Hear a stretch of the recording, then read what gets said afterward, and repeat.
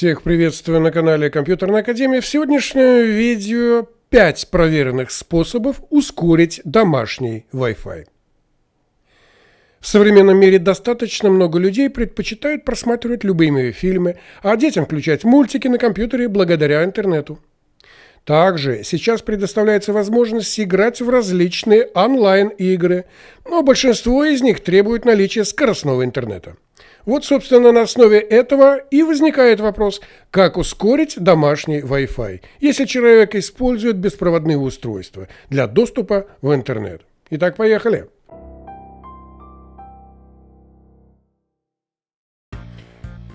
Итак, давайте рассмотрим варианты, которые помогут улучшить скорость домашнего Wi-Fi. Наличие нормального скоростного интернета – залог того, что будут сохранены ваши нервы. Да-да, именно так. Ведь достаточно много таких случаев, э, когда очень эмоционально реагируют люди, если в ответственный момент интернет либо отключится, либо настолько зависнет, что нет возможности завершить то или иное действие. В таких случаях достаточно много пользователей сразу начинает названивать провайдеру.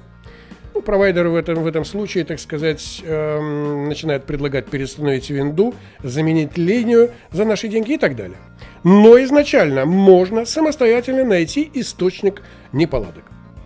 В первую очередь нам надо первое, что сделать, это проверить скорость передачи данных от провайдера к вашему компьютеру. А, существует много различных специальных программ, найти их можно непосредственно в всемирной паутине. С чего мы начинаем? С самой первой программы speedtest.net. Причин ненадлежащей работы интернета может быть много, но стоит рассмотреть несколько вариантов, способствующих значительно повысить его скорость. Основными из них являются первое.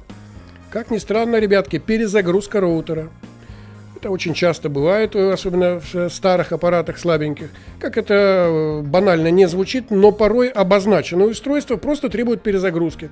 Даже с учетом того, что некоторые из моделей а, могут это делать в автоматическом режиме. Второе. Достаточно часто причиной зависания соединения с интернетом вызывает большое количество включенных приложений – Поэтому следует осуществлять контроль относительно их запуска. Особое внимание стоит обратить на наличие торрент-клиентов – большинство из них могут включаться в автоматическом режиме. А, это же касается ситуации, когда вместе со скачиванием игр можно насобирать различные дополнения и много гигабайтные обновления. Насчет торрент-клиентов э, я вас, вам особенно, так сказать, эм, советую проверить настройки торрент-клиента, ограничить скачиваемый или наоборот э, выкачиваемый э, трафик и так далее. Там все это дело есть. Торрент-клиенты имеют русскоязычный перевод. Проблем в этом вопросе нет. Третье. Подсоединение большого количества пользователей. Но это тоже надо за этим делом смотреть. Несмотря на то, что доступно использовать сеть нескольким пользователям одновременно, это может существенно повлиять на скорость передачи данных. А, такая вот байда наблюдается особенно на халявных Wi-Fi, где-то в общественных местах, площади, вокзалы и так далее. Для таких случаев можно использовать дополнительное оборудование, которое позволит усилить передачу сигнала. Называется это он э, репитер.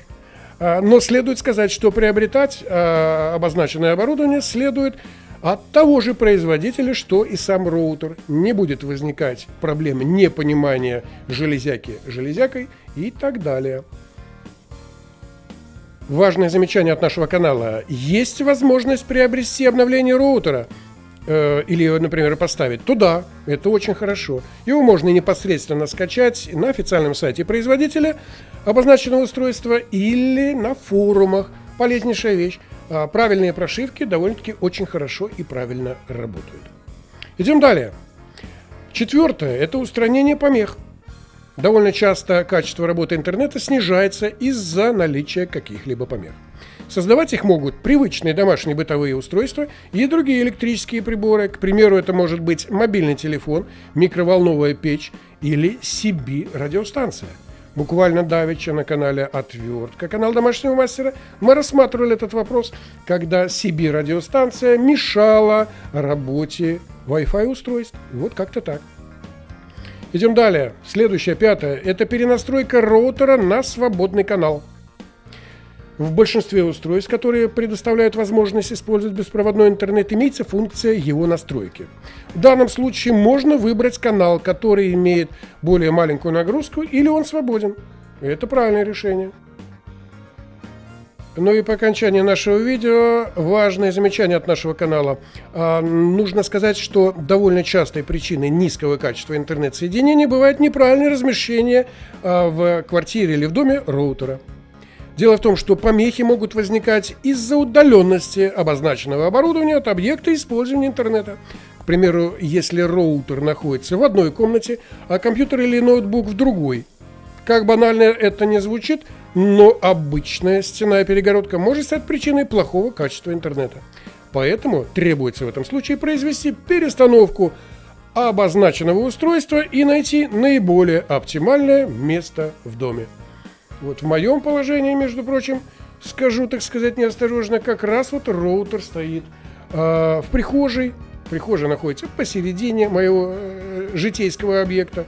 Э, Кухня, зал и спальня полностью обеспечены сигналом Wi-Fi. И никаких проблем не возникает. Так что будьте здоровы и правильно настраивайте Wi-Fi. Это канал Компьютерная Академия и наш партнер сайт mobcompany.info, сайт о смартфонах и их производителях. Я думаю, данная информация была вам полезна. Подписывайтесь на наш канал, ставьте нам лайки. С нами будет интересно.